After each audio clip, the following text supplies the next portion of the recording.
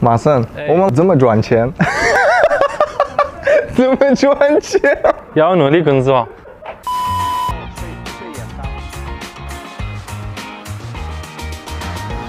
注意，灯来了。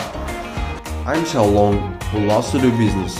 In ancient times, many foreigners were like me, chose to come to Quanzhou to do business. 他们到泉州来，一定先要去一个地方。Customs is the starting point of every international trade.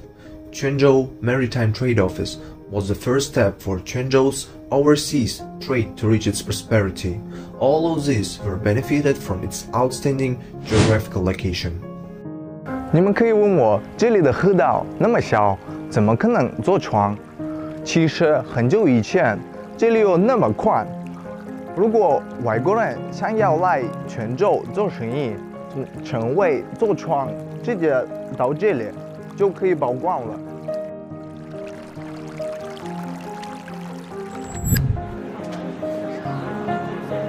Quanzhou Maritime Trade Office promoted the development of trade, brought a huge amount of fortune. During its heyday, Quanzhou was trading with over 100 countries and regions. The Maritime Trade Office of Quanzhou contributed 2% to the annual national fiscal revenue. With the office as the center, southern part of the city were turned into dazzling CBD. Almost all the businesses you can think of could be done around the Maritime Trade Office area.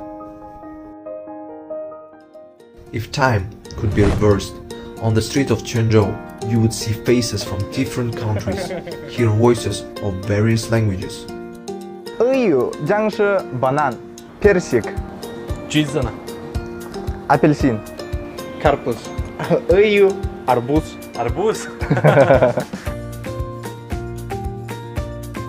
People came for business opportunities and settled in Shenzhou. What really attracted them was inclusion and harmony on this land.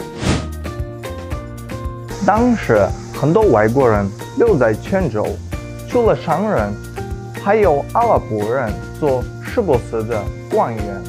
Same as my ancestors, I'm also deeply attracted by the city.